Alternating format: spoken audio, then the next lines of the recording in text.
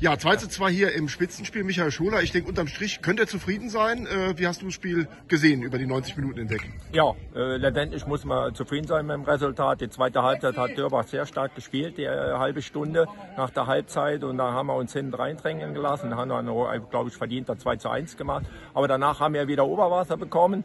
Ja, haben kämpferisch und läuferisch über 90 Minuten voll dagegen gehalten und äh, dann da 2-2 gemacht. Und wenn wir zum Schluss ein bisschen effektiver gewesen wären, hätte man da das Spiel eigentlich noch gewinnen können. Äh, da hat einfach der, der Lucky Punch gefehlt, wie du schon gesagt hast, äh, einfach nicht clever genug, um den Konter da auszufahren. Aber letztendlich sind wir zufrieden mit dem Punkt hier.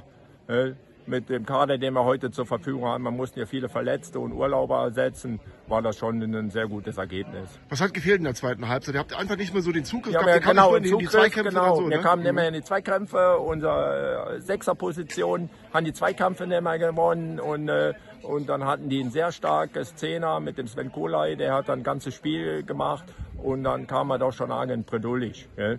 Ja. Wie fällt dir so das Zwischenfazit aus? Zuletzt war der ja auswärts nicht mehr so griffig, sage ich jetzt mal. Äh, da müsst ihr, glaube ich, auswärts noch zulegen dann. Ja gut, dann haben wir das Auswärtsspiel in Wittlich. Das ist natürlich eine Top-Mannschaft. Ja. Und äh, da haben wir eigentlich auch ganz gut Hand durch einen Fehler das Spiel verloren.